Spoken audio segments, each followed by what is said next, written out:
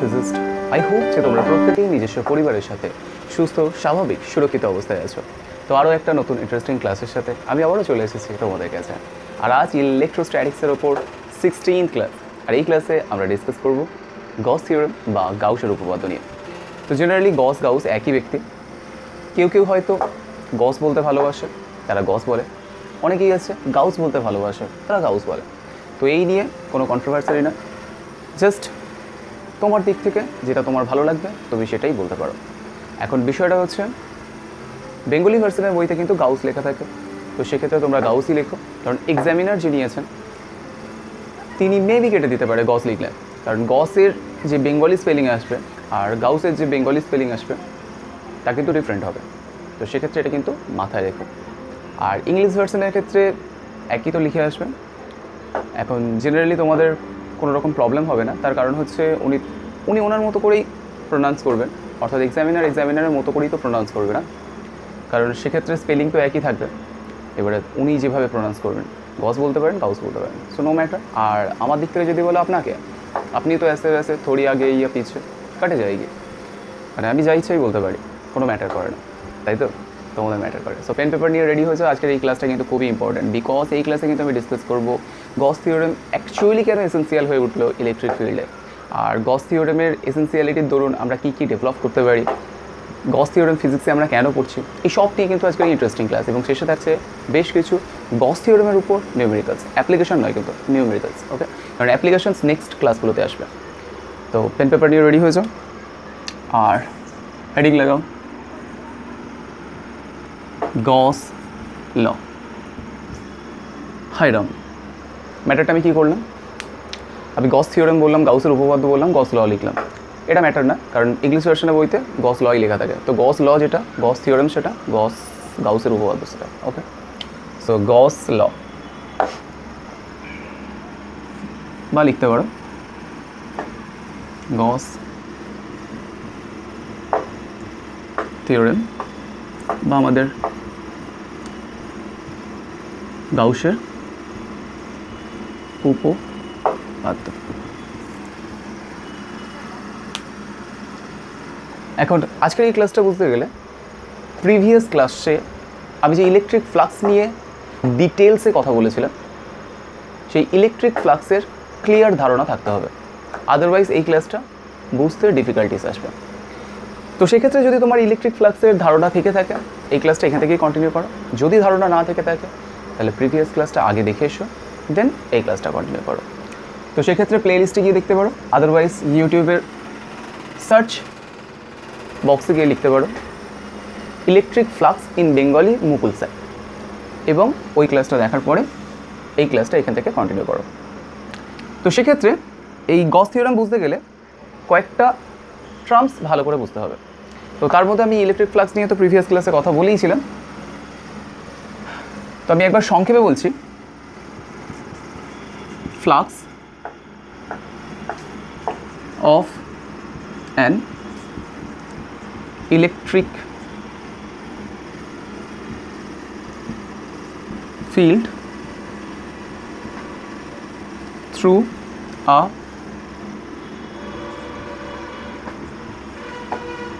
surface. So, flux of an electric field through a surface. এখন সারফেসকে অর্থাৎ কোনো একটা এরিয়াকে আমরা এরিয়া ভেক্টর হিসেবে অ্যাজামশন নিয়েছিলাম বা অ্যাজিম করেছিলাম। ম্যাটারটা কী ছিল?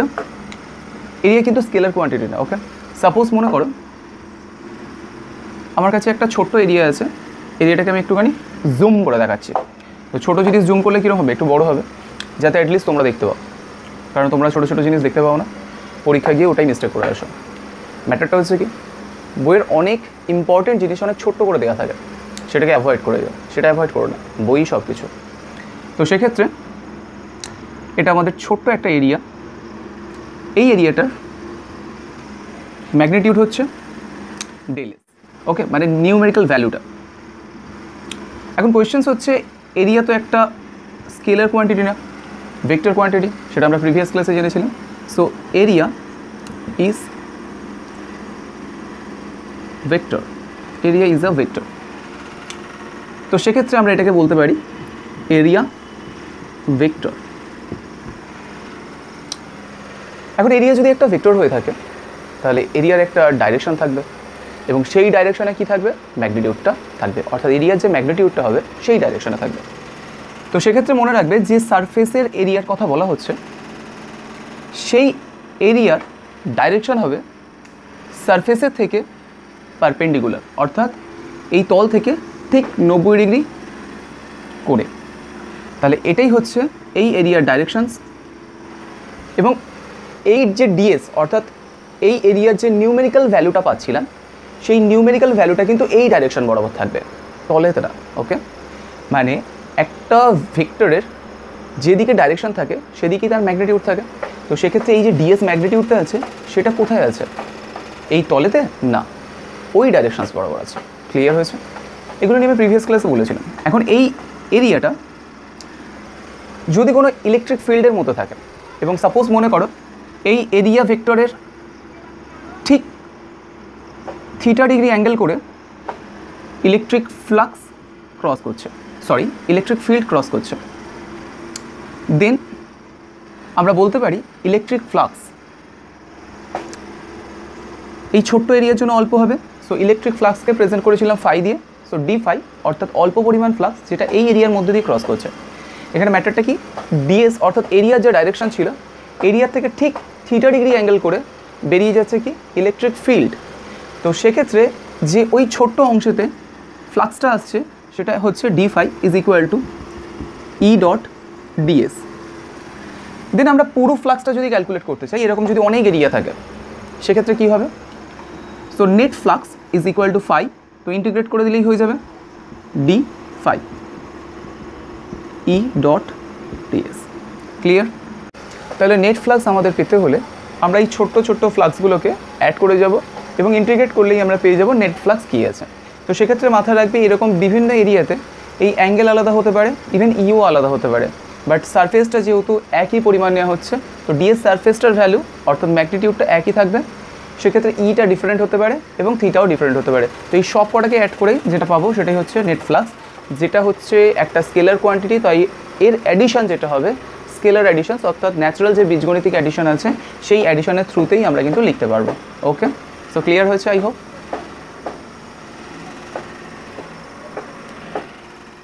তো গস থিওরেমকে ক্লিয়ারলি বোঝার জন্য আমাদের যে নেক্সট কনসেপ্টটা ডেভেলপ করতে হবে, সেটা হচ্ছে অ্যাঙ্গেলের কনসেপ্ট অর্থাৎ কোণের ধারণা। তো বেসিক্যালি কোণ নিয়ে তোমরা ক্লাস ফাইভ থেকে পড়ে আসছো এবং যথেষ্ট ধারণা তোমাদের আছে কোণ সম্পর্কে। তবে তার বেশিরভাগই কিন্তু দ্বিমাত্রিক কোণ, অর্থাৎ টু ডাইমেনশনাল অ্যাঙ্গেল আজকের কিন্তু আমরা ত্রিমাত্রিক কোণ বা সলিড অ্যাঙ্গেল সম্পর্কে জানব। ত্রিমাত্রিক কোণকে কিন্তু সলিড অ্যাঙ্গেল বা ঘন কোণও বলা হয়ে থাকে ক্লিয়ার তাহলে ত্রিমাত্রিক কোণের সাথে দ্বিমাত্রিক কোণের কী রিলেশন আছে, কী পার্থক্য আছে, সেটা একবার আগে বোঝা যাক। So concept of two dimensional angle বা general angle three D angle বা সলিড অ্যাঙ্গেল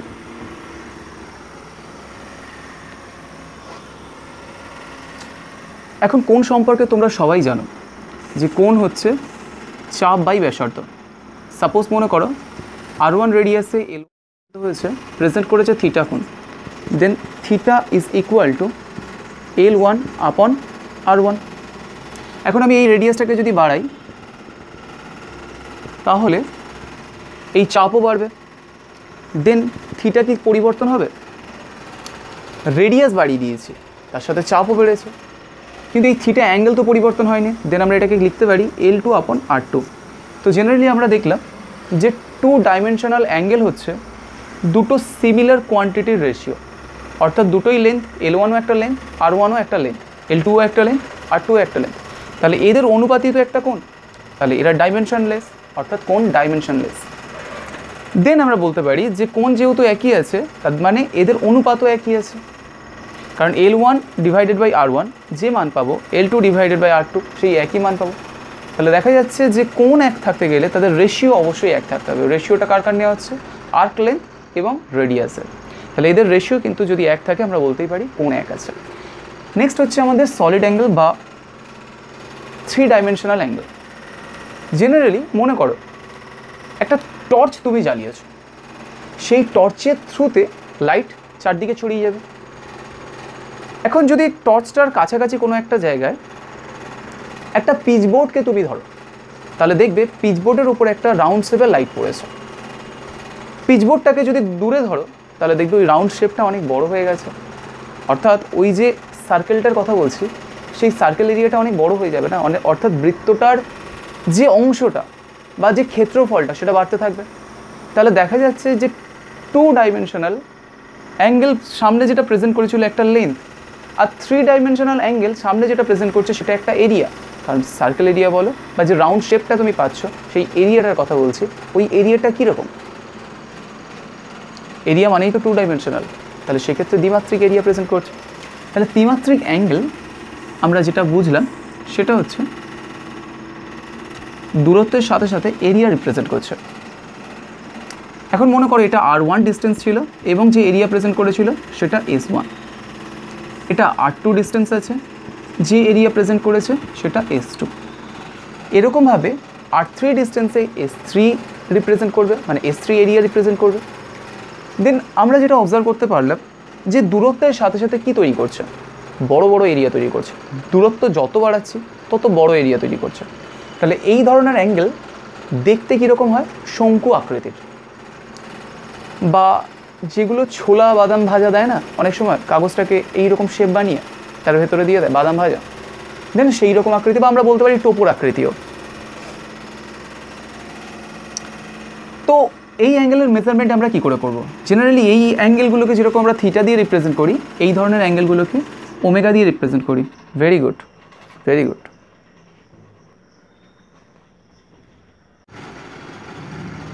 মাঝখানে কারেন্ট চলে যাওয়ার দরুন একটু ইন্টারাপ্ট হয়েছে।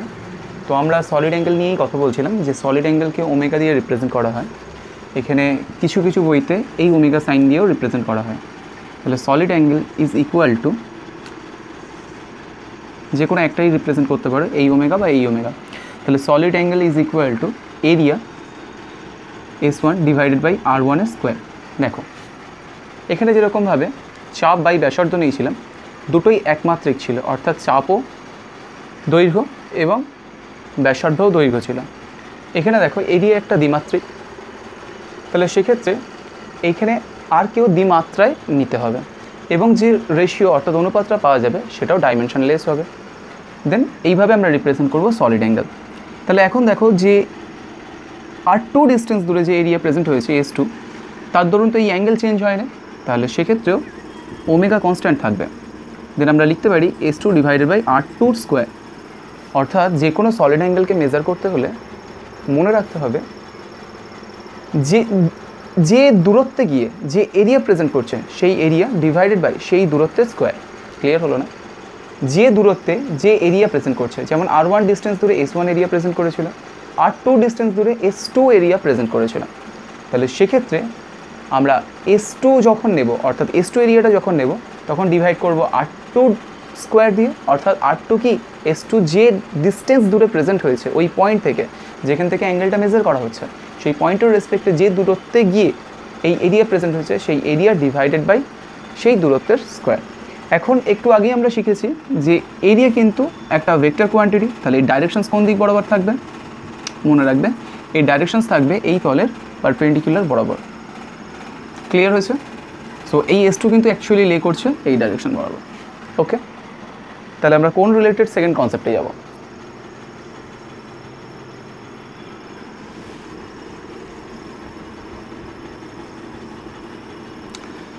কোন রিলেটেড সেকেন্ড কনসেপ্টটা হচ্ছে যখন কোনো কোণ অত্যন্ত ক্ষুদ্র হয়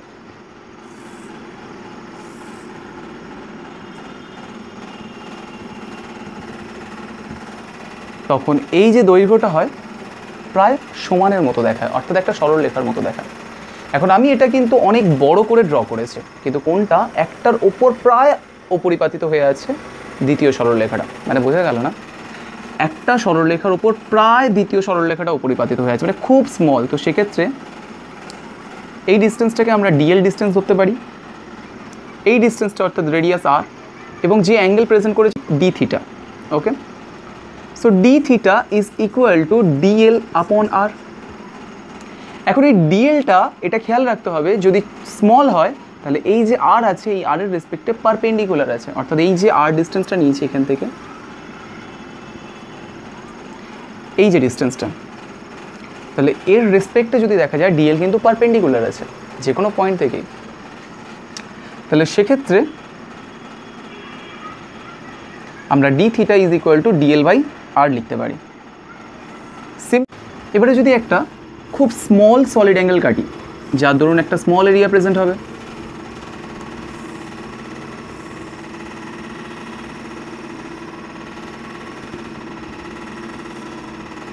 এই স্মল এরিয়াটা যদি ডিএস হয়, তাহলে ডিএস একটা ভেক্টর যার ডাইরেকশনস রেডিয়াস বরাবর। সো এই ডিস্টেন্সটাকে আমরা আর ধরছি, এর অ্যালংই থাকছে। তাহলে আমরা বলতে পারি যে ডিএস আর এর সাথে প্যারালালি চলছে বা আর এর অ্যালং চলছে।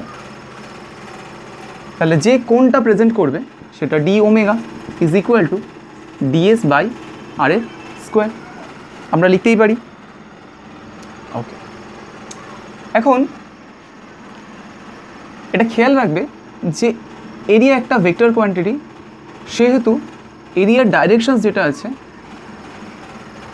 সেটা কিন্তু এরিয়ার রেসপেক্টে পারপেন্ডিকুলার আমি এই ক্লাসের প্রথমেই বলেছি। ওকে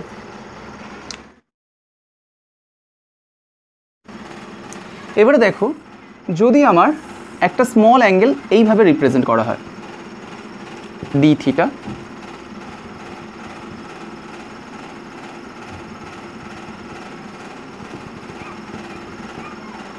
এর মিড পয়েন্টের ডিস্টেন্স অর্থাৎ ডিএল এর মিড পয়েন্ট থেকে এই পয়েন্টের ডিস্টেন্স হচ্ছে আর এবং এটা হচ্ছে আর এর ডাইরেকশন অর্থাৎ আর যেটা বাইরের দিক বরাবর বেরিয়ে যাচ্ছে, আর এটা হচ্ছে ডিএল এর ম্যাগনিটিউড হচ্ছে ডিএল এই লেন্থটা দেন আমরা ডি থিটাকে কীভাবে লিখব? আমরা কি এবারে ডি থিটাকে লিখতে পারি? ডিএল ডিভাইডেড বাই আর কখনোই না। কারণ দেখা যায় যে ডিএল আর এর সাথে পারপেন্ডিকুলার নেই, অর্থাৎ লম্বভাবে অবস্থান করছে না। দেন আমরা এটা কি লিখতে পারি? কখনোই না। তাহলে আমরা এটাকে কীভাবে লিখব? ভাবো। দেন আমরা এটাকে কীভাবে লিখতে পারি? তাহলে আমরা যদি এই ডিএল এর ওপর একটা নর্মাল ড্র করি, আর দেখি এই নর্মাল আর এই আর এর যে ডাইরেকশন আছে, তার মধ্যে অ্যাঙ্গেল হচ্ছে আলফা দেন আমরা বলতে পারি এটাও আলফা কীভাবে? দেখো। মনে করো আমি এই আর থেকে, অর্থাৎ আর এর ডাইরেকশনস বরাবর আরও একটা পারপেন্ডিকুলার ড্র করলাম। এখন দেখো এই লাইনটা এবং এই লাইনটার মধ্যবর্তী angle ninety degree because dl এর নর্মাল এটা। তাহলে এইটুকু অ্যাঙ্গেল কত হবে? এই পুরোটা যদি নাইনটি ডিগ্রি হয়, এটা যদি আলফা হয়, এইটুকু অ্যাঙ্গেল হবে নাইনটি ডিগ্রি মাইনাস আলফা আবার দেখো যে এই আর এর রেসপেক্টে এই যে লাইনটা, এদের মধ্যবর্তী অ্যাঙ্গেল নাইনটি ডিগ্রি তাহলে এটা যদি নাইনটি ডিগ্রি মাইনাস আলফা হয়, তাহলে এটা আলফা এখন এই দুটো লাইন যেহেতু প্যারালাল তাহলে আমরা বলতে পারি যে এটা আলফা হলে এটা আলফা। আমরা অন্যভাবেও জিনিসটাকে বুঝতে পারি। মনে করো, এই আমার আরের ডাইরেকশনস সরি এই আমার ডিএল লেন্থ এখন আর আমার এইরকম ছিল। ডিএল লেন্থের রেসপেক্টে আলফা ডিগ্রি অ্যাঙ্গেল তৈরি করলেই এই ডিএল এর নর্মাল প্রেজেন্ট হয়।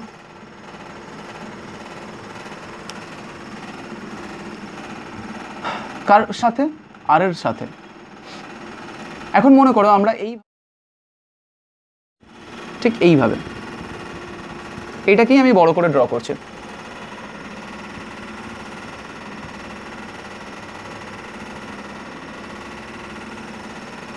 তাহলে এইটুকু লেন্থ কত হবে? এই পুরোটা যদি ডিএল হয়, এইটুকু লেন্থ হবে DL by two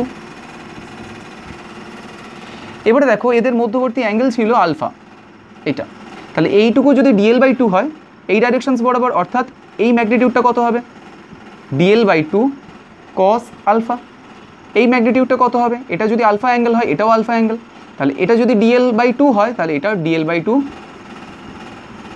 cos alpha simple জিনিস, এই অংশটা যদি ডিএল হয়, তাহলে এই অংশটুকুনি হবে ডিএল বাই টু এই অংশটাও হবে ডিএল বাই টু এটা যেহেতু আলফা এটাও সেহেতু alpha then dl by two cos alpha dl by two cos alpha দুটোকে অ্যাড করে দিলে ডিএল কস আলফা তাহলে এই যে পুরো লেন্থটা পেলাম আর ডিস্টেন্স দূরে যে পারপেন্ডিকুলার লেন্থটুকুনি পেলাম, সেটা dl by two cos alpha then আমরা লিখতে পারি d theta is equal to dl sorry dl by two cos alpha না ডিএল কস আলফা যেহেতু পুরোটা নিচ্ছে। So dl cos alpha divided by R এটাই হচ্ছে এই ডি থিটা তাহলে ডি থিটাকে মেজার করতে গেলে আমাদের মাইন্ডে রাখতে হবে যে ডিস্টেন্স নিচ্ছি আর ডি থিটা যেহেতু খুব স্মল যে ডিস্টেন্সটা নিচ্ছি আর সেই ডিস্টেন্সের রেসপেক্টে ডিএল যেন পারপেন্ডিকুলার থাকে। ক্লিয়ার তাহলে এক্ষেত্রে যদি আমাদের এই এরিয়াটা এইভাবে রিপ্রেজেন্ট হতো।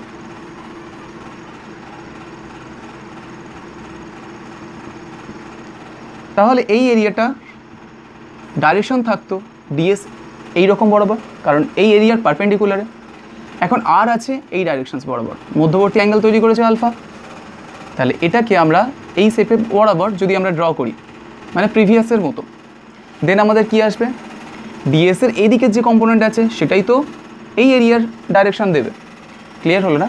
এই এরিয়ার ডাইরেকশনস কোন দিক বরাবর? এই আর এর বরাবর ছিল। তাহলে এখন তো ডাইরেকশনস নতুন যে এরিয়াটা ড্র করেছি, তার ডাইরেকশনস ডিএস বরাবর আছে। অর্থাৎ আর থেকে আলফা ডিগ্রি অ্যাঙ্গেলে আছে। তাহলে আর এর রেসপেক্টে যদি দেখি, তাহলে ডিএস কস আলফা পাবো। অর্থাৎ এটার ম্যাগনিটিউড ডিএস কস আলফা যার ডাইরেকশনস কোন দিক বরাবর? আর এর অ্যালং তো সেক্ষেত্রে আমরা লিখতে পারি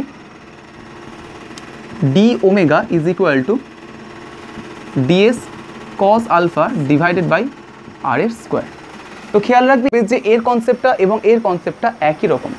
খুব একটা ডিফারেন্ট না।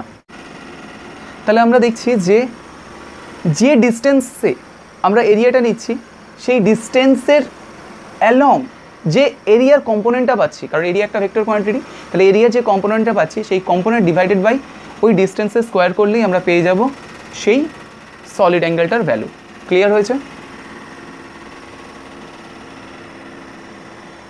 সো নোট করে নাও।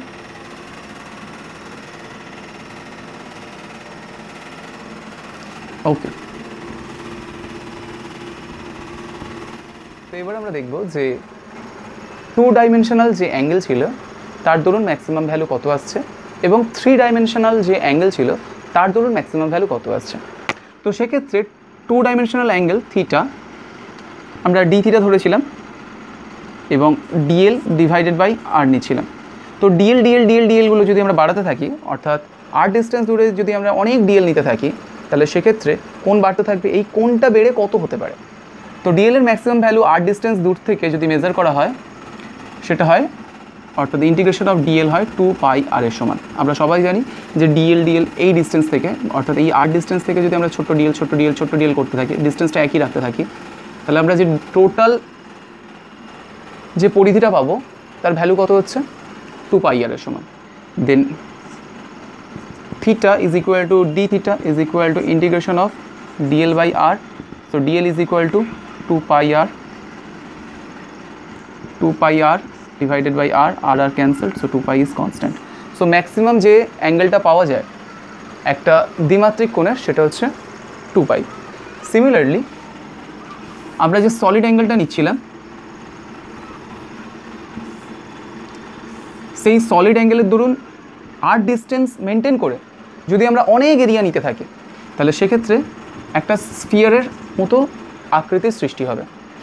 দেন একটা স্ফিয়ারের টোটাল ডিএস অর্থাৎ এটা তো ছোট্ট একটা ডিএস ডিএস ডিএস ডিএস ডিএসগুলো জুড়ে যে টোটাল সারফেস এরিয়াটা আসছে, সেটা কত? সো ইন্টিগ্রেশন অফ ডিএস হয় four pi R square then d omega is equal to ds upon R square then total omega মানে ম্যাক্সিমাম ভ্যালু হতে পারে integration of ds R square that's mean four pi R square divided by R square এখন যেহেতু আমরা এই আর এর along নিচ্ছিলাম DSK সেক্ষেত্রে আমরা এখানে ডিএস কস আলফাও নিতে পারি। যদি দেখি যে এই ডিস্টেন্স দূরে ডিএসটা স্লাইটলি মুভ করে আছে দেন এটা ডিএস কস আলফা হবে, এটা ডিএল কস আলফা হবে। তো সেক্ষেত্রে ডিএস লিখতেও পারো। আর যদি আলফা অ্যাঙ্গেল প্রেজেন্ট করে রাখি এই রেডিয়াসের রেসপেক্টে তাহলে ds cos alpha is equal to value আসবে তাই।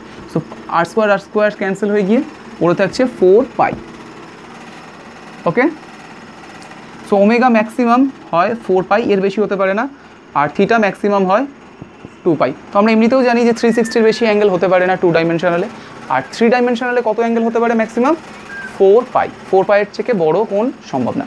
ক্লিয়ার হয়েছে?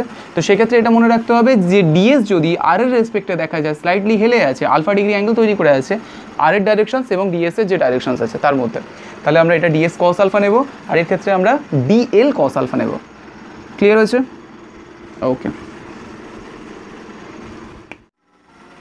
তো ফাইনালি আমরা এবার গস ল এবং গস ল এর ডেরিভেশন সম্পর্কে পড়ব। তো জেনারেলি গস ল কী হতে পারে বলে তোমার মনে হয়? ফার্স্ট এটা ইমাজিন করো। কারণ তুমি কোন চ্যাপ্টার পড়ছো? ইলেকট্রিক ফিল্ড অর্থাৎ তড়িৎ ক্ষেত্র। তাহলে গস ল বা গাউসের এই উপপাদ্য কার উপর বেস্ট করে হতে পারে? তড়িৎ ক্ষেত্রের উপর। এখন তড়িৎ ক্ষেত্রের ভ্যালু ক্যালকুলেশন তুমি কুলমস ল থেকে জানতে। এখন কুলমস লর অনেক পরে কিন্তু গস ল প্রেজেন্ট হয়েছে।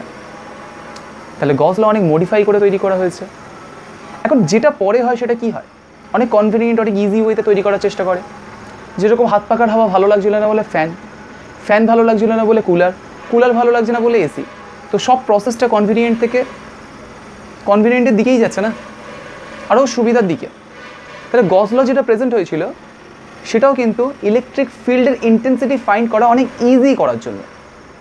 কারণ কুলমস ল থেকে ইলেকট্রিক ফিল্ড ফাইন্ড করতে হলে যে কাজটা অনেক জটিল লাগছিল, সেটা গস লয়ের দরুন চুটকিতে হয়ে যায়।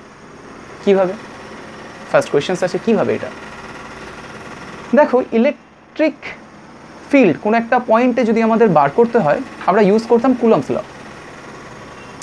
এখন কুলমস ল পয়েন্ট চার্জের জন্য ভ্যালিড কোনো একটা বডিতে যদি চার্জ ডিস্ট্রিবিউটেড করে রেখে দিই, অর্থাৎ প্রত্যেক জায়গায় আলাদা আলাদা চার্জ আছে, তাহলে ছোট্ট ছোট্ট এলিমেন্ট কাটতে হবে। সেই ছোট্ট ছোট্ট চার্জের রেসপেক্টে ওই পয়েন্টের ফিল্ড ইন্টেন্সিটি ফাইন্ড করতে হবে। দেন সমস্ত ফিল্ড ইন্টেন্সিটিগুলোর ভেক্টর সাম নিতে হবে। কিন্তু গস ল ঠিক অন্যভাবে। প্রসেসটা কিছুটা ইম্যাজিনেশন পার্ট আছে আর কিছুটা রিয়েল পার্ট আছে। এখন রিয়েল পার্ট যেটা আসছে, সেটা কিন্তু কুলমস লয়ের উপর বেস্ড করে। আর ইম্যাজিনেশন পার্ট যেটা আসছে, সেটা হচ্ছে সারফেসের উপর বেস্ড করে। এখন সারফেসের সাথে কত পরিমাণ ইলেকট্রিক ফিল্ড জড়ায়, সেটা আমরা ইলেকট্রিক ফ্লাক্স থেকে ক্যালকুলেশন করতে শিখে গেছিলাম। তাহলে গস ল থেকেও কিন্তু আমরা ক্যালকুলেশন করতে পারব ইলেকট্রিক ফিল্ড তাহলে গস ল এরিয়া যেহেতু বলছি এরিয়ার উপর বেস্ড করে, তাহলে ইলেকট্রিক ফ্লাক্সের উপর বেস্ড করে। তাহলে নোট করো যে Gauss law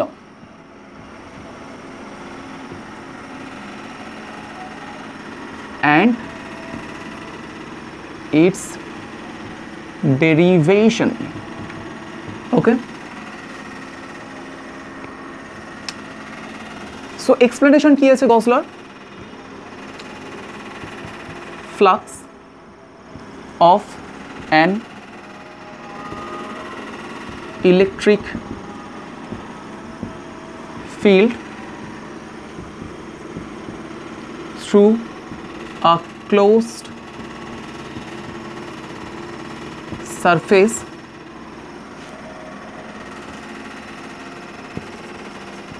equals to the net charge বা charges enclosed by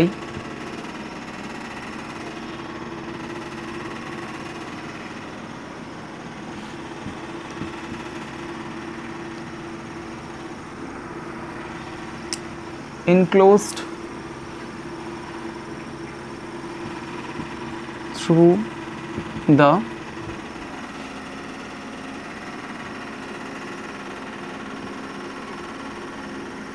flux of an electric field through a closed surface equals to the net charges enclosed enclosed the enclosed through the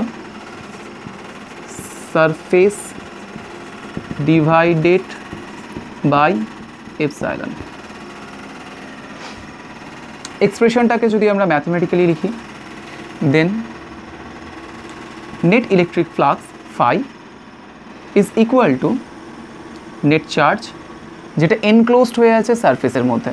এখন closed surface নিয়ে আমরা previous ক্লাসে কথা বলেছি, এই ক্লাসে আমরা হালকা করে বলে দেবো। সো ক্লোজড সারফেসের মধ্যে যে নেট চার্জ আছে, সেটাকে আমরা লিখছি q I N divided by epsilon এখন ইলেকট্রিক ফ্লাক্সকে আমরা লিখতে পারি E vector dot ds vector q I N divided by epsilon so এটাই হচ্ছে গস থিওরামের এক্সপ্রেশন ক্লিয়ার হয়েছে? তাহলে গস থিওরাম কি বলছে? একটা ক্লোজড সারফেসের মধ্যে, তাহলে গস থিওরাম ভ্যালিডি কিন্তু ক্লোজড সারফেসের উপর। তাহলে একটা ক্লোজড বা ইমাজিনারি সারফেস এটাকে হাইপোথেটিক্যাল সারফেসও বলা হয়। কারণ ইমাজিনেশনস থেকেই আসছে এই সারফেসটা সাপোজ মনে করো এখানে একটা চার্জ আছে।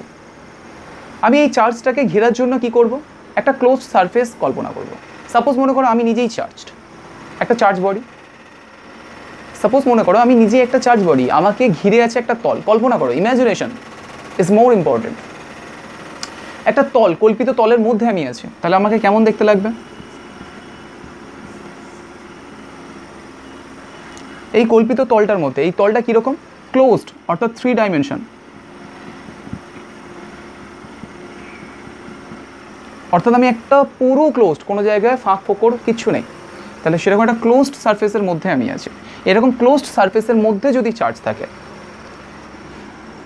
এটা একটা ক্লোজড সারফেস বদ্ধ, কীরকম ধরনের? থ্রি ডাইমেনশনাল এর ভেতরে আমি একটা চার্জ রেখেছি কিউ তার দরুন যে নেট ফ্লাক্সটা আসবে, সেটার ভ্যালু কত হবে? এই net charge divided by epsilon যে মিডিয়ামে আছে। এটা ন্যাচারালি ইয়ার মিডিয়ামে থাকার জন্য ধরুন, এটা অনেক বইতে মানে অ্যাজামশন নেওয়া হয় যে এয়ার মিডিয়ামে আছে, তো সেক্ষেত্রে এফসাইলন নট দিয়ে দেওয়া হয়। তো কিছু বইতে এফসাইলনও দেওয়া থাকে। ক্লিয়ার তাহলে সেক্ষেত্রে এর ভ্যালু সমান হয়। এই এক্সপ্রেশন থেকে আমরা বুঝতে পারব যে কোনো জায়গায় ফ্লাক্স জানা থাকলে নেট চার্জ কত আছে সেটা বার করতে পারব। নেট চার্জ জানা থাকলে কি ফ্লাক্স আসবে সেটাও বার করতে পারব। তো এই ধরনের সার্ফেসকে আমরা বলব ইম্যাজিনারি সার্ফেস ক্লিয়ার ওকে এবারে আমরা এর ডেরিভেশন দেখব। সো এটা নোট করে নাও ওকে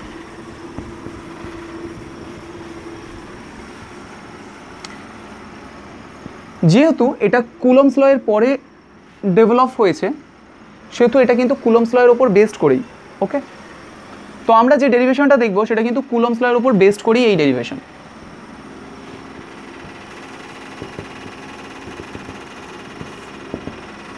ওকে এবারে ধরা যাক, আমার কাছে কিউ পরিমাণ চার্জ রয়েছে যেটাকে আমি একটা হাইপোথেটিক্যাল সারফেসের মধ্যে রেখেছি। অর্থাৎ সারফেসটা কিন্তু ইমেজিনারি তাহলে এই কিউ চার্জের দরুন ইলেকট্রিক ফিল্ড জেনারেট হবে। তা কোনো একটা ডিএস সারফেসের মধ্যে দিয়ে এই ইলেকট্রিক ফিল্ড ডিএস সারফেস যে ভেক্টর আছে, তার সাথে আলফা ডিগ্রি অ্যাঙ্গেল করে বেরিয়ে যাচ্ছে। তাহলে এখানে একটা সলিড অ্যাঙ্গেল প্রেজেন্ট হবে ডিএসের দরুন। সেটাকে আমরা ধরে নিচ্ছি D omega clear electric field এই ডাইরেকশনস বরাবর মুভ করছেন কিউ চার্জ থেকে এই ইলেকট্রিক ফিল্ডের যে ডিস্টেন্স আছে সেটাকে অ্যাজিউম করছি আর অর্থাৎ এই ডিস্টেন্সটা ওকে এখন এই ই ভেক্টরের ডাইরেকশন বরাবর যদি আমরা ডিএসকে নিই, তাহলে কি আসবে? ডিএস কস আলফা ওকে এবার ওই ছোট্ট এরিয়ার যে ফ্লাক্স হচ্ছে, সেটা হচ্ছে d phi d phi is equal to E vector dot ds vector then আমরা কি লিখতে পারি? Mod of E mod of ds cos alpha যেহেতু ওর অ্যালং নিয়ে নিয়েছি। তাহলে সেক্ষেত্রে ইর ভ্যালু হয় q divided by four pi epsilon naught r square into ds cos alpha কারণ ইর অ্যালংয়ে তো কস আলফা আসছে। মানে ডিএস কস আলফা আসছে so ds cos alpha then আমরা এটাকে এইভাবেও লিখতে পারি। Four pi epsilon naught r square into ds cos alpha divided by r square define এখন যদি আমার পুরো এই এরিয়ার মধ্যে দিয়ে আমরা ফ্লাক্স বার করতে চাই নেট ফ্লাক্স যেটা এই কিউ চার্জকে ঘিরে আছে। অর্থাৎ এই তলের রেসপেক্টে কত পরিমাণ টোটাল ফ্লাক্স আসছে, সেটা যদি আমরা বার করতে চাই। দেন কি করব? ইন্টিগ্রেট করব। So phi that's mean integration of d phi constant টার্মগুলো বেরিয়ে আসবে। ও সরি এখানে দুবার আর স্কোয়ার হয়ে গেছে। এক্সট্রিমলি সরি সো কনস্ট্যান্ট যে টার্ম আছে q divided by four pi epsilon naught ইন্টিগ্রেশনের মধ্যে পড়ছে ds cos alpha divided by r square এখন এই ছোট্ট অংশটা কি ছিল? ডি ওমেগা ছিল। অর্থাৎ এটাকেই তো একটু আগে আমরা ক্যালকুলেট করে দেখছিলাম, যেটা একটা ছোট্ট অ্যাঙ্গেল প্রেজেন্ট করছিল ds cos alpha divided by r square সেটা কি? D omega so q divided by four pi epsilon naught d omega এখন d omega for total surface মানে পুরো সারফেসটার জন্য আর ডিস্টেন্স ধরে যদি আমরা পুরো সারফেস ইমেজাইন করি, তাহলে কি আসছে? Four pi so Q divided by four pi epsilon naught into four pi so four pi four pi cancel Q divided by epsilon naught is equal to net flux এটাই হচ্ছে গস লর derivation from Coulomb's law থেকে। কারণ এই ডেরিভেশনসটা কিন্তু Coulomb's লয়ের ওপরেই best করে।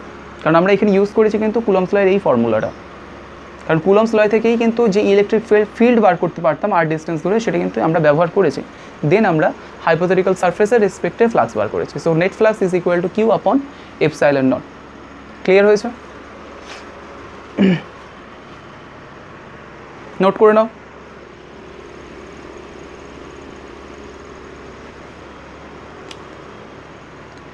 তাহলে আমরা কি দেখলাম? হয়েছে নোট করা? তাহলে আমরা কি দেখলাম এখানে? এই যে ফ্লাক্সটা আসছে, ফ্লাক্সের ভ্যালু কোনো জায়গাতেই এই যে হাইপোথেটিক্যাল এরিয়াটা আছে মানে সারফেসটা আছে থ্রি ডাইমেনশনাল অর্থাৎ ক্লোজড সারফেস সেই সারফেসের স্ট্রাকচার অর্থাৎ সেফের ওপর ডিপেন্ড করছে না।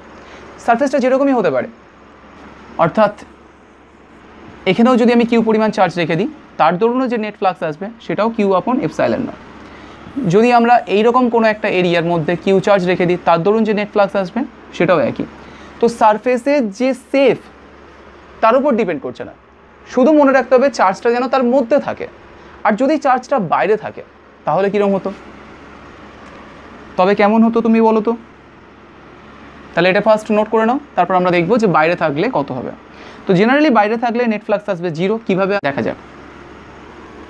ওকে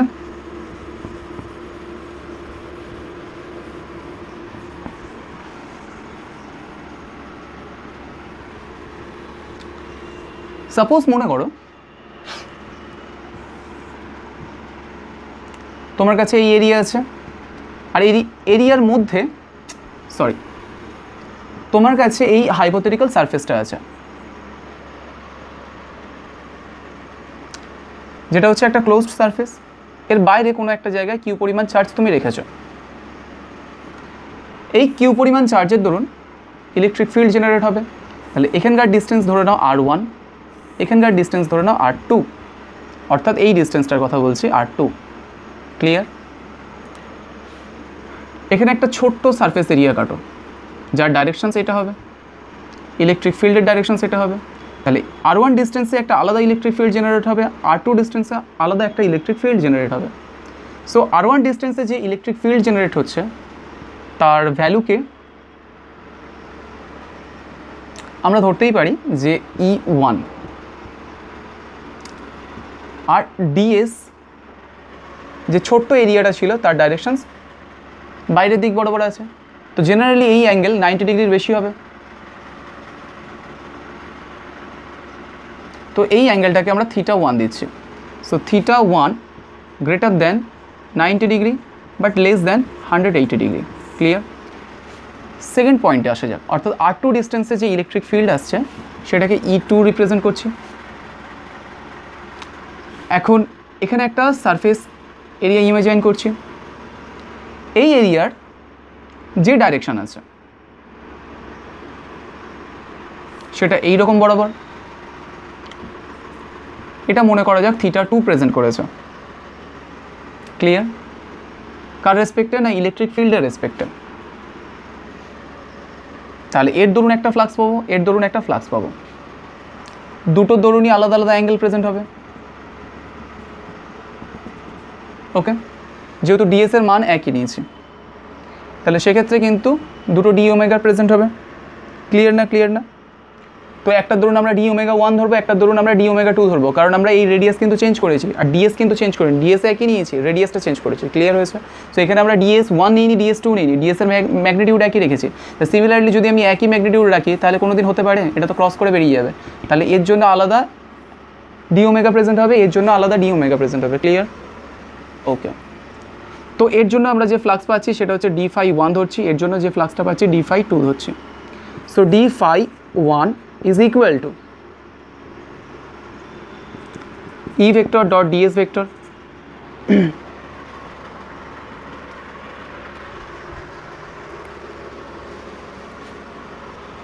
তাহলে E vector dot ds vector সেক্ষেত্রে আমরা বসালে কি পাবো? মানে ভ্যালুগুলো যদি বসাই, কি পাবো? Q divided by four pi r one square into ds cos theta one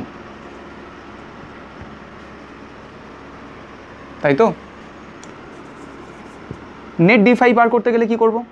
আচ্ছা এখানে এফসাইলন বসানো হয় না naught r one square so net flux integration of d phi one এই পয়েন্টের রেসপেক্টে so q by divided by four pi epsilon naught বেরিয়ে আসছে। Ds cos theta one divided by r ওয়ানের স্কোয়ার এখন আর ওয়ান ডিস্টেন্স দূরে যদি আমরা একটা রাউন্ড শেপ ড্র করি, অর্থাৎ এর ম্যাক্সিমাম ভ্যালু কত হতে পারে? এটা তো একটা d omega one so q divided by four pi epsilon naught integration of d omega one তো ডি ওমেগা ওয়ানের ম্যাক্সিমাম ভ্যালু কত হতে পারে? আর ডিস্টেন্স দূরেই ডি ওমেগা ওয়ান প্রেজেন্ট করেছে, তো ম্যাক্সিমাম ভ্যালু কত হতে পারে? ফোর পাই এর তো বেশি নয়। So q divided by four pi epsilon naught into four pi so four pi four pi cancel হয়ে গিয়ে q divided by epsilon naught এখন কোয়েশ্চেন্স হচ্ছে এই থিটাটার ভ্যালু কী নেব? যেহেতু থিটা নাইনটি ডিগ্রির থেকে বেশি তাহলে কস থিটা নাইনটি ডিগ্রি থেকে বেশি একশো আশি ডিগ্রি থেকে কম হলে নেগেটিভ আসে। তাহলে এই প্রত্যেকটা ইকুয়েশানে একটা নেগেটিভ আসবে। ক্লিয়ার হলো না?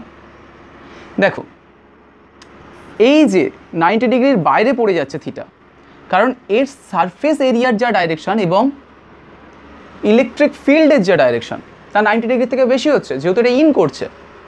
ইন যদি কোনো তলের রেসপেক্টে যদি আমার এই তল থাকে যদি দেখা যায় যে ইলেকট্রিক ফিল্ড ইন করছে, কিন্তু সারফেস এরিয়া বাইরের দিকে পড়ে যাচ্ছে, তাহলে কি হবে? এই পর্যন্ত যদি হতো, আলাদা হয়ে যেত মানে জিরোর দিকে চলে যেত। এর বাইরে যখন হয়ে যাচ্ছে নেগেটিভ যাচ্ছে। কারণ কেন? কস নাইনটি ডিগ্রি থেকে বেশি ভ্যালু বাট একশো আশি ডিগ্রি থেকে কম ভ্যালুতে নেগেটিভ আসে। তো সেক্ষেত্রে ইকুয়েশনসের প্রত্যেকটা জায়গায় নেগেটিভ হবে because theta one greater than ninety degree but less than hundred eighty degree clear so negative দেখা যাচ্ছে কি? Q divided by epsilon naught okay এবারে যদি আমরা দেখি,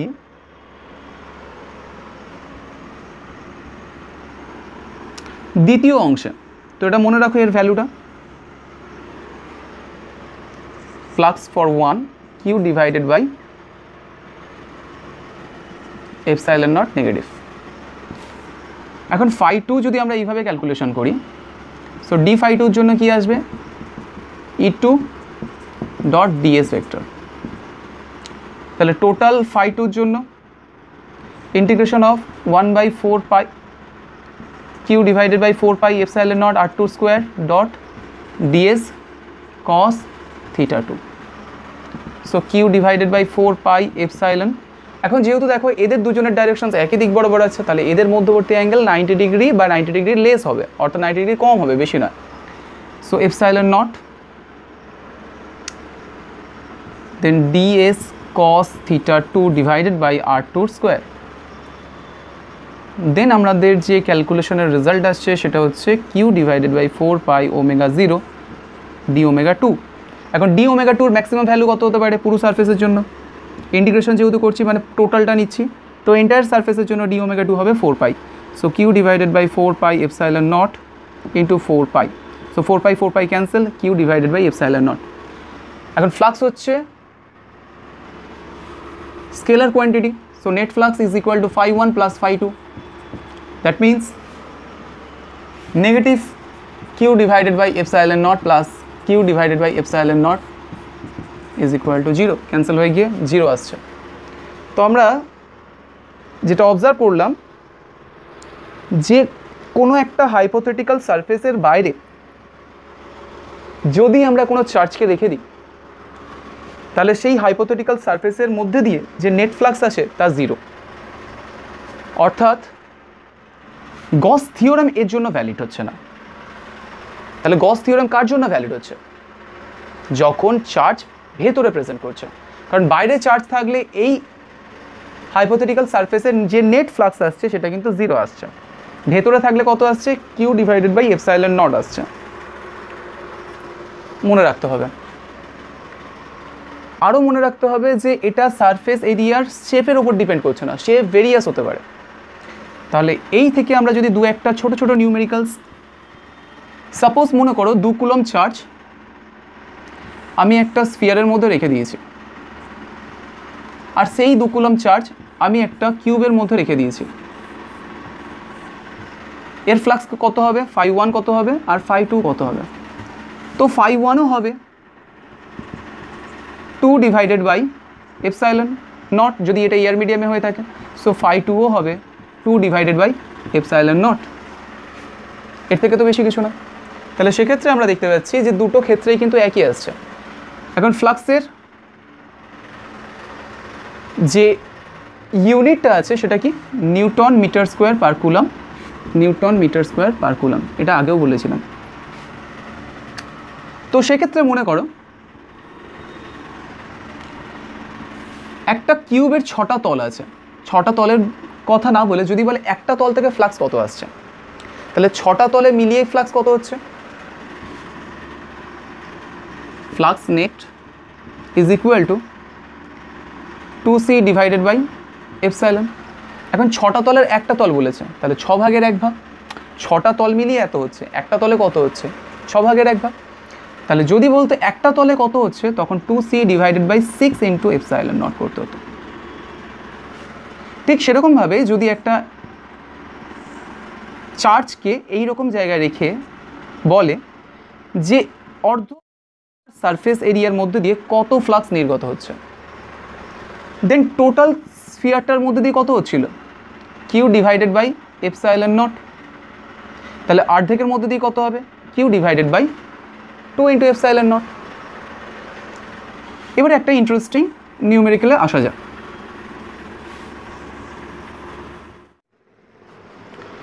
তো নেক্সট নিউমেরিক্যালটা আমি অলরেডি বোর্ডে লিখে রেখে দিয়েছেন দেন তোমরা দেখতেও পাচ্ছ আর charge q is uniformly distributed on a ring of radius R তো আর ব্যাসাদের একটা রিং আছে, যে রিংয়েতে নেট কিউ পরিমাণ চার্জ ইউনিফর্মলি ডিস্ট্রিবিউটেড করা আছে। অর্থাৎ প্রত্যেক ছোটো ছোটো জায়গায় যদি আমরা দেখি, সমানভাবে চার্জকে বন্টিত অবস্থায় রাখা হয়েছে। তো কত চার্জ নেট আছে? কিউ পরিমাণ। ওকে তারপরে বলছে a sphere of equal radius are constructed with its center of the periphery of the ring. তো দেখো, প্যারামিটার যে আছে রিংটার রিংয়ের প্যারামিটারের ওপর একটা ও ওয়ান পয়েন্ট নেওয়া হয়েছে এবং সেম রেডিয়াসের একটা স্ফিয়ার অর্থাৎ গোলক ড্র করা হয়েছে। মানে কল্পিত গোলক আছে। এখন দেন কি বলছে? Find the flux of the electric field through the surface of the sphere সেক্ষেত্রে কোয়েশ্চেন্স করা হয়েছে, এই যে স্ফিয়ারটা আছে, তো একটা গোলক আছে, একটা রিং আছে, তো একটা রিং এইভাবে আছে, আর ঠিক তার থেকে মিটারের ওপর ও ওয়ান পয়েন্ট থেকে যদি দেখা যায় আরও একটা স্ফিয়ার আছে, যাদের রেডিয়াস কিন্তু এক, অর্থাৎ দুজনেরই ব্যাসার্ধ হয় রিংটারও ব্যাসার্ধ হয় গোলকটারও ব্যাসার্ধ হয় তো গোলকটা রিংটার কিছুটা অংশ কভার করেছে এ থেকে বি পর্যন্ত অংশ কভার করেছে, পরিষ্কার বোঝা যাচ্ছে। এখন ফাইন্ড করতে বলেছে যে নেট ইলেকট্রিক ফ্লাক্স কী আছে? যেটা স্ফিয়ারের মধ্যে দিয়ে ক্রস করছে। সো ভাবো একবার। ভাবো ভাবো ভাবো।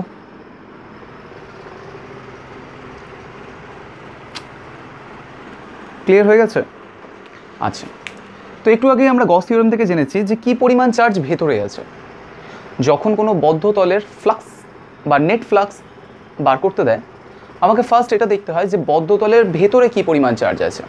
কারণ ভেতরে যে পরিমাণ চার্জ আছে, সেই পরিমাণ charge divided by epsilon naught যদি এটা এয়ার মিডিয়ামে হয়ে থাকে আর আদার্স মিডিয়ামে হলে এফসাইলেন দিলে আমরা পেয়ে যাব নেট ফ্ল্যাক্স এখন কোয়েশ্চেন্স হচ্ছে, এক্ষেত্রে আমরা কি করে ক্যালকুলেশন করব? কারণ নেট যে চার্জ আছে, সেটা হচ্ছে কিউ আর সেটাই পুরো রিংটাতে দেওয়া আছে। এখন যদি দেখা যায় যে এইটুকু অংশই ওই গোলকটার মধ্যে পড়ে গেছে, বাকি অংশ বাইরে আছে।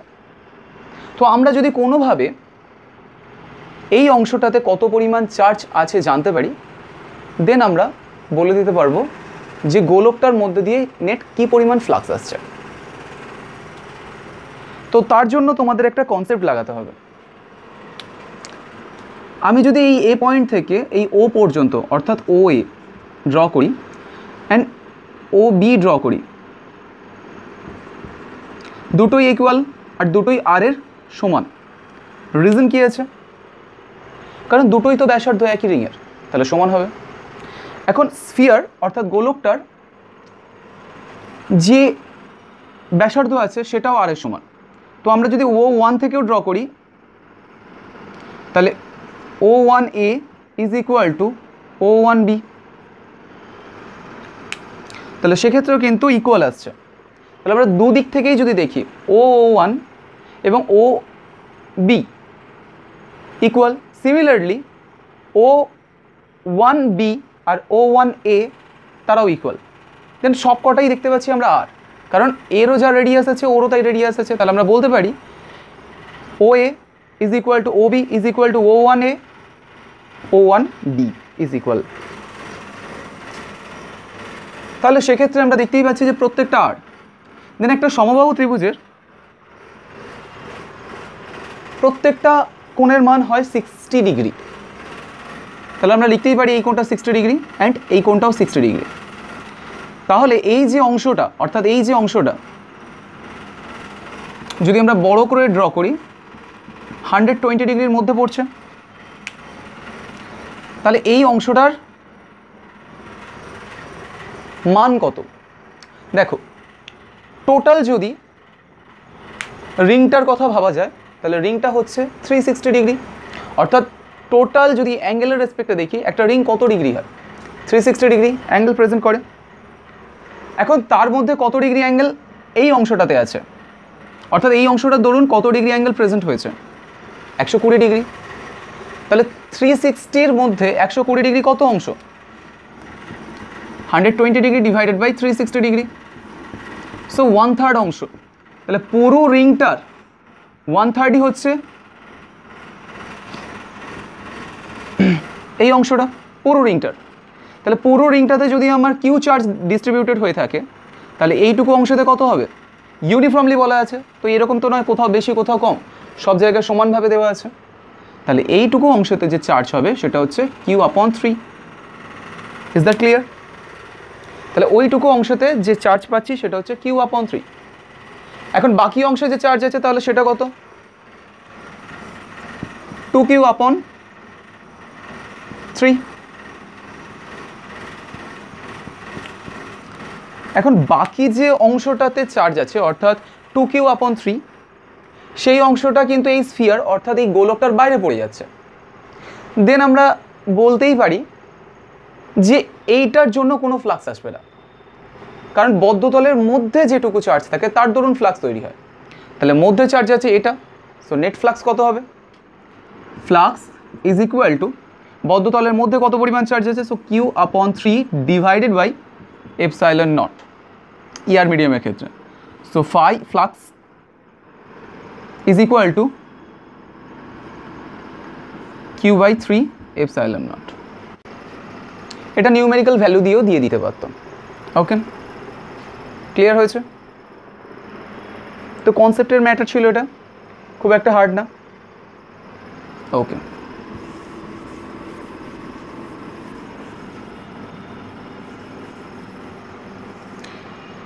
এবারে যদি জাস্ট ডায়াগ্রামটা একটু চেঞ্জ করে দেয়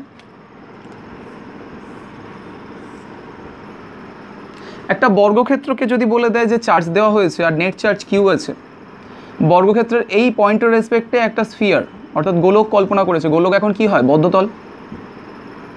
প্রেজেন্ট করে। এখন এই গোলকটার মধ্যে দিয়ে নেট ফ্লাক্স কত আসবে? একই কনসেপ্ট যদি আমার এখানে টোটাল কিউ পরিমাণ চার্জ হয়ে থাকে, তাহলে এখন বাহুর দৈর্ঘ্যটা দেওয়া হয় না আর অ্যাজাম আর অ্যাজামশন হিসেবে নিতে পারো। দেন কি করা যায়? কেউ যদি নেট চার্জ হয়ে থাকে, তাহলে আমরা দেখতেই পাচ্ছি এটা বর্গক্ষেত্রের অর্ধেক অংশ আর এইটা বর্গক্ষেত্রের অর্ধেক অংশ। ইউনিফর্মলিভাবে ডিস্ট্রিবিউটেড হয়ে থাকলে, তাহলে অর্ধেক অংশতে যে চার্জ আসছে সেটা q by two then q by two divided by epsilon so q divided by two epsilon তো এটাও আমরা এইভাবে সলভ করতে পারি। ক্লিয়ার হয়েছে?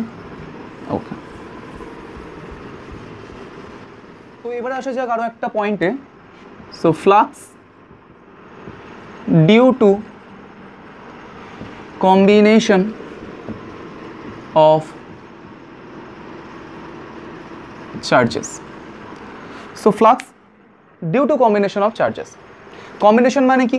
সিঙ্গেল চার্জ তো নেই, অনেকগুলো চার্জ আছে। So q one q two q three q four q five আর এই চার্জগুলোকে ঘিরে একটা গসিয়ান সারফেস আছে, অর্থাৎ ক্লোজড সারফেস আছে। দেন তোমাকে ফাইন্ড করতে বলেছে যে এই পাঁচটা চার্জের জন্য ওই সারফেসে যে নেট ফ্লাক্স হয়, সেটা কত? যদি একটা দেওয়া থাকতো, তুমি বার করতে পারতে q one divided by epsilon naught বা এফসাইলন মিডিয়ামের উপর ডিপেন্ড করছে। যদি কিউ টু থাকতো q two divided by epsilon very good q three থাকলে বার করতে পারতে কিউ ফোর থাকলে, বার করতে পারতে কিউ ফাইভ থাকলে। এখন অনেকগুলো চার্জ কিন্তু ভেতরে দেওয়া আছে। এখন মনে করো বাইরেও কিছু চার্জ দেওয়া আছে q one q two q three q four এদের রেসপেক্টেও তোমাকে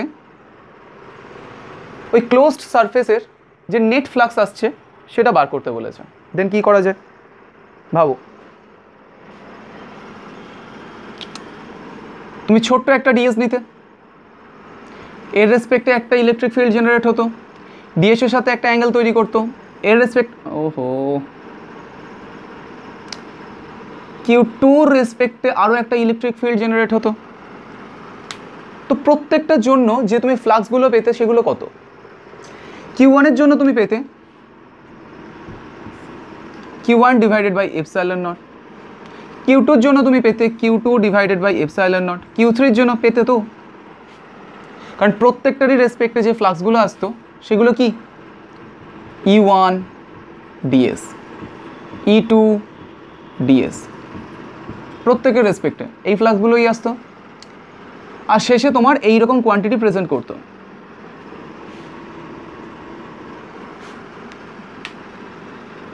দেন আমরা বলতেই পারি যে এগুলোর দরুন যে নেট ফ্লাক্স পাবো, এগুলোরই অ্যাডিশনের সমান। কারণ এটাও একটা ফ্লাক্সের মান বেরোতো কিউ ওয়ানের জন্য, এটাও একটা ফ্লাক্সের মান বেরোতো কিউ টুর জন্য, এরমভাবে কিউ থ্রির জন্য বেরোতো Q three divided by epsilon naught এরমভাবে dot dot dot dot dot Q N divided by epsilon naught তাহলে net flux phi net is equal to one by epsilon naught Q one plus Q two plus Q three so on so on Q N তো net চার্জগুলো যোগ করে দিলে এবং সেটাকে এফসাইলের not দিয়ে divide করে দিলেই আমরা পেয়ে যাব নেট ফ্লাক্স এখন খেয়াল রাখতে হবে যে এখানে চার্জগুলো পজিটিভ আছে না নেগেটিভ আছে, কারণ উইথ সাইন বসাতে হবে। যদি নেগেটিভ থাকে, তাহলে সেক্ষেত্রে ফ্লাক্স কি হতো? নেগেটিভ তৈরি হতো, ভেতরের দিকে আসার চেষ্টা করতো। যদি পজিটিভ থাকে ফ্লাক্স বাইরের দিকে যাওয়ার চেষ্টা করতো। তাহলে সেক্ষেত্রে কিন্তু নেগেটিভ পজিটিভের জন্য জিরো হয়ে যেতে পারতো। সাপোজ মনে করো কোনো গসিয়ান সারফেস দেওয়া আছে। পজিটিভ কিউ চার্জও আছে নেগেটিভ কিউ চার্জও আছে। তাহলে এই সারফেসের নেট ফ্লাক্স ফাইন্ড করতে বলেছে। পজিটিভ চার্জের রেসপেক্টে নেট ফ্লাক্স হতো positive Q divided by epsilon এটার ক্ষেত্রে হতো negative Q divided by epsilon so net flux এসে যেত কিন্তু জিরো তাহলে এটা কিন্তু খেয়াল রাখতে হবে যে, আমরা যখন এই ক্যালকুলেশন করব, তখন কিন্তু সাইনের সাথে করব। সাইনকে বাদ দিয়ে না। অর্থাৎ উইথ সাইন আমাদের এই ক্যালকুলেশন করতে হবে। তারপরে যেরকম বীজগণিতিক যোগ করে থাকো ওটা করলেই হয়ে যাবে। সো ক্লিয়ার হয়েছে? এবার এই Q one Q two Q three Q ফোরের দিকে এসো। এদের জন্য এই বদ্ধতলে আদৌ কি কোনো ফ্লাক্স থাকবে? এরা প্রেজেন্ট করছে কোথায়? বদ্ধতলের বাইরে। তাহলে বদ্ধতলের বাইরের জন্য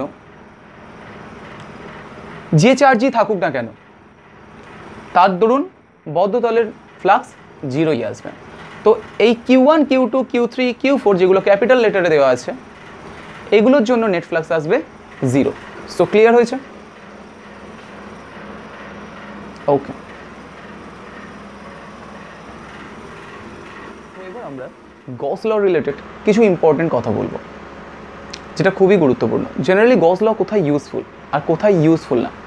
দেখো গস ল যে কোনো জায়গায় ব্যবহার করা যাবে। অর্থাৎ যে কোনো ধরনের ক্লোজড সারফেসের ক্ষেত্রেই কিন্তু গস ল ব্যবহার করা যাবে। কিন্তু সেই ক্লোজড সারফেসটা যদি সিমেট্রিক হয়, তাহলে আমাদের গস লয়ের ধরুন যে ইলেকট্রিক ফিল্ড ফাইন্ড করার ওয়ে সেটা অনেক ইজি হয়ে যাবে। আর ইউজফুল আমরা সেটাকেই বলি না, যখন কোনো কিছু ফাইন্ড করার জন্য ইজি ওয়ে পাই। যখন সেই জিনিসটাই ফাইন্ড করতে আমাদের অনেক হার্ড ওয়ের মধ্যে দিয়ে যেতে হয়, তখন সেটা কিন্তু ইউজফুল থাকে না। তো গস ল দিয়ে ক্যালকুলেট তো সব কিছুই করা যাবে। কিন্তু গস ল ইউজফুল হবে তখনই যখন এই যে সারফেসটা নেওয়া হচ্ছে, সেই সারফেসটা স্ফেরিক্যাল সারফেস হয়। কারণ স্ফেরিক্যাল সারফেস বা সিমেট্রিক সারফেস হয়। দেখো স্ফেরিক্যালি যে হতে হবে, তার কোনো গ্যারেন্টি নেই। সিমেট্রিক হতে হবে। মেনলি কথা হচ্ছে সিমেট্রিক এখন স্ফেরিক্যাল সারফেস বেশি সিমেট্রিক তো সেক্ষেত্রে স্ফেরিক্যাল সারফেস বাদ দিয়েও অনেক সিমেট্রিক সারফেস হয়। তো সারফেসটা কী ধরনের হতে হবে? সিমেট্রিক হতে হবে। সিমেট্রিক সারফেস অর্থাৎ প্রতি সম সারফেস আমরা কোনগুলোকে বলব? জেনারেলি যে ধরনের সারফেসে কোনো একটা ছোট্ট এলিমেন্ট কাটলে, অর্থাৎ ডিএস এলিমেন্টটা কাটলে, সেই ডিএস এলিমেন্টের একটা ডাইরেকশন হবে, তাই না? সেই ডিএস এলিমেন্টটার একটা ডাইরেকশন হবে। আর কোনো একটা পয়েন্টের রেসপেক্টে যে ইলেকট্রিক ফিল্ড জেনারেট হচ্ছে, তারও একটা ডাইরেকশন হবে এবং ম্যাগনিটিউড হবে। যখন ডিএস এর ভ্যালু ইর ভ্যালু অর্থাৎ ইলেকট্রিক ফিল্ডের ভ্যালু এবং ডিএস এর ভ্যালু এবং তাদের মধ্যবর্তী কোণ, এইরকম ছোট্ট ছোট্ট সব ডিএস এর ক্ষেত্রে একই থাকবে, তখন সেক্ষেত্রে আমরা বলতে পারি যে সারফেসটা সিমেট্রিক সারফেস সিমেট্রিক মানে একই রকম। সমস্ত ডিএসের জন্য দেখা যাচ্ছে ইলেকট্রিক ফিল্ডেরও যা ভ্যালু আসছে। ইলেকট্রিক ফিল্ডের ভ্যালু এবং ডিএস যে ভেক্টর এদের মধ্যবর্তী যে অ্যাঙ্গেল সেটাও রিমেন্স কনস্ট্যান্ট পড়ে আছে। তো আমরা লিখতেই পারি Gauss law is useful in symmetric surface. So Gauss law is generally useful in symmetric surface. In where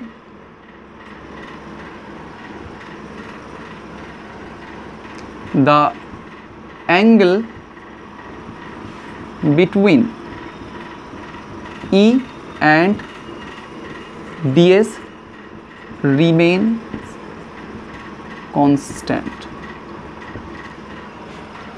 তো অ্যাঙ্গেল যেটা থাকছে ই এবং ডিএস এর মধ্যবর্তী, সেটা কিন্তু সব জায়গায় যেন এক থাকে। কারণ তা যদি না হয়, তাহলে যে আমরা ইন্টিগ্রেট করছিলাম ফ্লাক্সের দরুন, প্রত্যেক ক্ষেত্রে আলাদা আলাদা কস্থিটা প্রেজেন্ট হতো। প্রত্যেক ক্ষেত্রে আলাদা আলাদা ই প্রেজেন্ট হতো, যদি আলাদা আলাদা পয়েন্টের রেসপেক্টে করতাম, তাহলে আমাদের ক্যালকুলেশন অ্যাটলিস্ট সেই জটিলই থেকে যেত। সেই কারণের জন্য এটাকে যাতে আমরা ইজি করতে পারি। তো স্পেশালি সেই কারণের জন্যই কিন্তু গজলা ইউজফুল হয়ে ওঠে তখন যখন সারফেসটা সিমেট্রিক সারফেস হয়। আদারওয়াইজ গজলা দিয়ে আমরা ক্যালকুলেশন তো করতে পারি, কিন্তু ক্যালকুলেশন জটিলই থেকে থাকবে। তো সাপোজ মনে করো আমার কাছে এখানে একটা চার্জ আছে।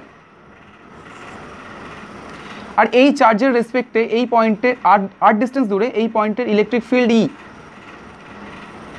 এবং এরিয়া ভেক্টর আছে ডিএস এই ডাইরেকশনস বরাবর। তো এদের মধ্যবর্তী অ্যাঙ্গেল আমরা মনে করছি থিটা পেলাম। এইরকমভাবে যদি এই সারফেসটা এখানে এই রকম এরিয়া প্রেজেন্ট করে, তার দরুন কি হবে? এই ইর যা মান, তার ডিফারেন্ট হবে। আবার যদি অন্য রকম সারফেস প্রেজেন্ট করে, অর্থাৎ অন্য একটা ডিস্টেন্সে আরও একটা ছোট্ট এলিমেন্ট কাটি, তাহলে ইর ভ্যালু আলাদা আসবে ডিএস এর ভ্যালু আলাদা আসবে। দেন এই ধরনের সারফেসকে আমরা সিমেট্রিক বলতে পারি না। কিন্তু মনে করো এই কিউ চার্জটার রেসপেক্টে আর ডিস্টেন্স দূরে একটা স্ফিয়ার কল্পনা করে নিলাম। এই স্ফিয়ারের প্রত্যেক পয়েন্টে যে ডিএস পাবো, সেই ডিএসের যে ডাইরেকশানস ওই সেম ডাইরেকশনসেই ইর ডাইরেকশন আবার এখানে যদি একটা এলিমেন্ট কাটি ডিএস এলিমেন্ট তো তার যা ডাইরেকশানস হবে ইরও সেই সেম ডাইরেকশানস আবার এখানে যদি একটা ডিএস কাটি সেই ডিএসের যা ডাইরেকশন হবে ইর সেম ডাইরেকশন দেন আমরা বলতে পারি, এটা হচ্ছে একটা symmetric surface respect to Q similarly আমরা আরও পরে, অর্থাৎ অ্যাপ্লিকেশন সেকশনে এইগুলো সম্পর্কে আরও ডিটেলসে জানব। যদি এটা একটা তার হয়ে থাকে, আর এটা একটা চোং হয়ে থাকে সিলিন্ডার দেন এই সিলিন্ডারের যে সারফেসটা পাওয়া যাচ্ছে এই তারের রেসপেক্টে যা ডিস্টেন্স সব জায়গায় সমান হবে। এটা মনে করা যাক তার। এখানে আমার এইভাবে, অর্থাৎ এইভাবে একটা সিলিন্ডার কল্পনা করা হয়েছে, যেটা হচ্ছে আমার গসিয়ান সারফেস তাহলে আমি সব জায়গায় এই তারটার রেসপেক্টে যে লম্ব দূরত্ব আসছে, সেটা কি ইকুয়াল আসছে? ওকে এরকমভাবে যদি আমরা একটা ছোট্ট এলিমেন্ট কাটি ডিএস সো ডিএসের যা ডাইরেকশনস হবে ইরও সেই সেম ডাইরেকশন হবে।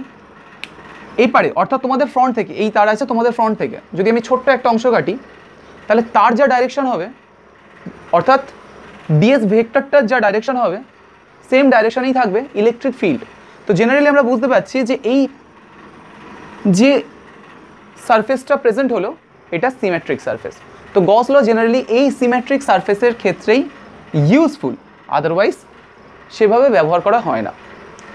তো আশা করি ক্লাসটা বোঝা গেছে। Thank you very much for watching this class আজ এই পর্যন্তই।